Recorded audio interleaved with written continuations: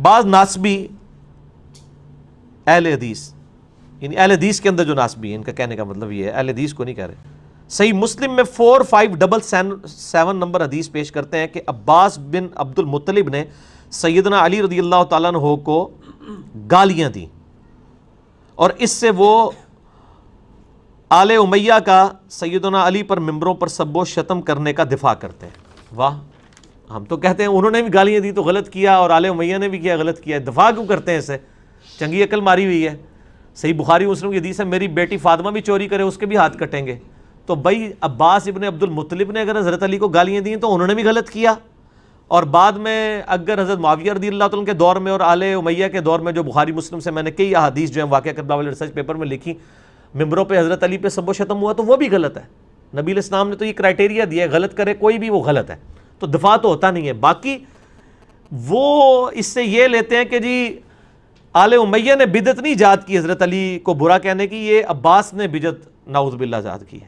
اب دیکھیں، لوگ یہ سمجھتے ہیں، لوگ گھاس کھاتے ہیں۔ یہ ایک واقعہ تھا۔ ایک واقعہ۔ کیا عباس ابن عبد المطلب روزانہ ممبر پہ چڑھتے تھے اور حضرت علی کو کہتے تھے کہ تو بڑا دغا باز ہے، تو بڑا گناہ گار ہے، تو بڑا فراڈی ہے، نعوذ باللہ؟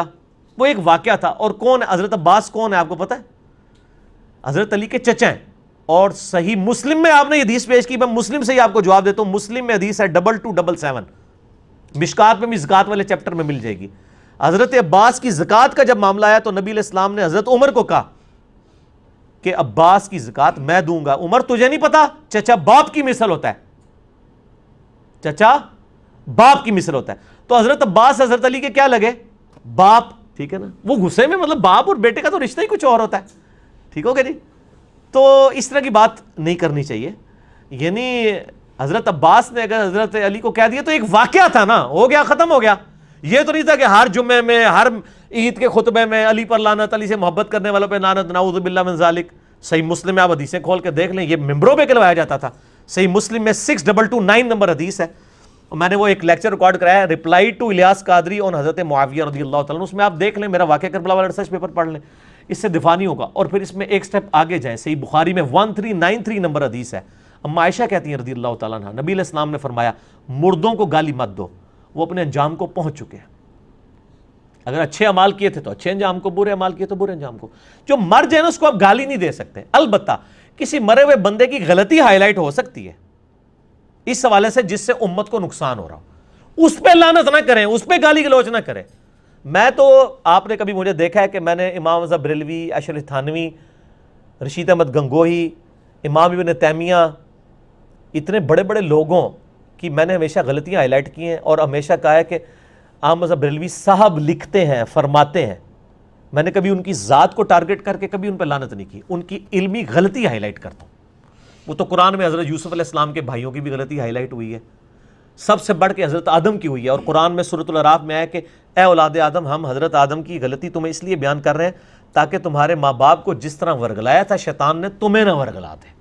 تو اس طریقے سے اسلامی نظام حکومت میں خلافت کے قیام کے دوران ٹوٹی کمند کہاں کہاں سے خلافت راشدہ ختم ہوئی، کس طرح ملوکیت میں بدلی؟ یہ ٹاپک مولانا مدودی نے بھی خلافت و ملوکیت میں لکھا، یہی ریسرچ پیپر میں ہم نے دو سو حدیث بخاری مسلم سے اکثر حدیث ہیں اسے جسٹیفائی کیا۔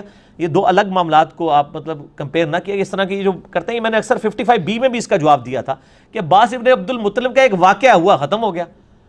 تو یہ کہنا کہ بنو عباس نے یہ بدت ایجاد کی بدت ممبروں پر وفات کے بعد کرنے والا معاملہ ہے، یہ تو ایک واقعہ ہے، یہ تو واقعہ ان دو چیزوں کو زمین و اسمان کا مطلب آپ ملا رہے ہیں، آپ سمجھتے ہیں، لوگ گھاس کھاتے ہیں اور لوگ آپ کی بات کو مان لیں گے۔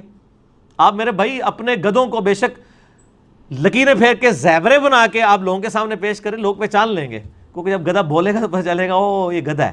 تو لوگوں کو پتہ چل جائے گا اچھا یہ ناسبی بول رہا ہے، یہ اہل حدیث نہیں ہے، یہ ناسبی ہے۔ جب حضرت علی کا بگز نظر آ رہا ہوگا۔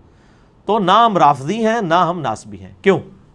کیونکہ نہ میں وابی، نہ میں بابی، میں ہوں مسلم، علمی کتابی۔ نہ ہم سو کارڈ جو علمی بات کرے اسے وابی کہہ دیتے ہیں۔ اور اس کے اگینسٹ میں نے ٹرم ڈیوائز کی بابی، بابوں کا ماننے والا۔ ہم بابوں کے ماننے والے بھی نہیں، ہم علمی کتابی مسلمان ہیں، عام مسلمان ہیں۔ ان کو بھی ہم مسلمان ہی سمجھتے ہیں اور علمی طریقے سے ان کی غلطیاں ان پر ہائی لائٹ کرتے ہیں۔